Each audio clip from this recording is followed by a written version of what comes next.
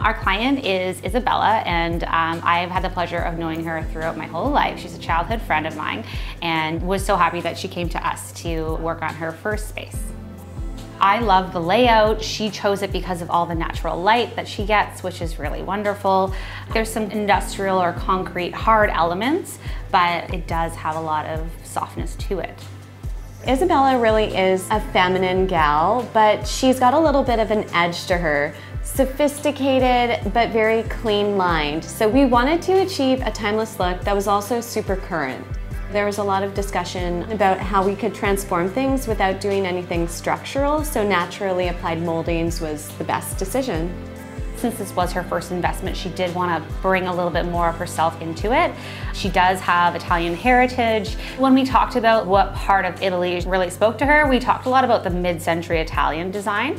And so we wanted it to be really clean lines and sculptural, but also adding some more Victorian style details like the applied molding and like an old portrait photo on the wall type thing. We didn't change the footprint of the kitchen. It was functional, yet it didn't really maximize the amount of light that was in the space. So the dark cabinetry just had to go. I mean, we like dark cabinetry, but you could just tell immediately that it was just not working with what we were trying to get mm -hmm. to. So we refaced them.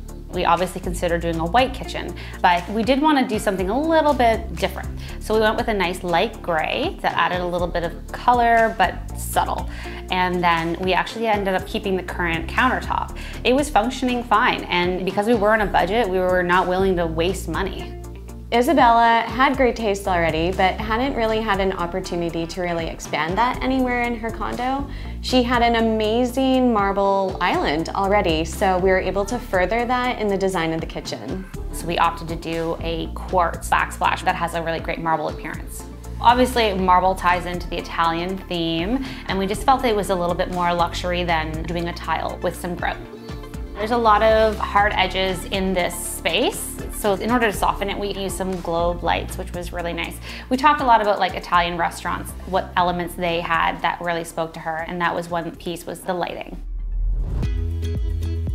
Sarah Bahbah is a well-known artist. She does really cool, interesting photography, feminine, sexy, sophisticated, and so and we, a little Italian, and a little Italiano. So we had that to work with, as well as a brass frame that had some mid-century shapes going on. We wanted to soften that up with sleek monochromatic bedding paired with a really luxe green rug that who wouldn't want to wake up to that every morning?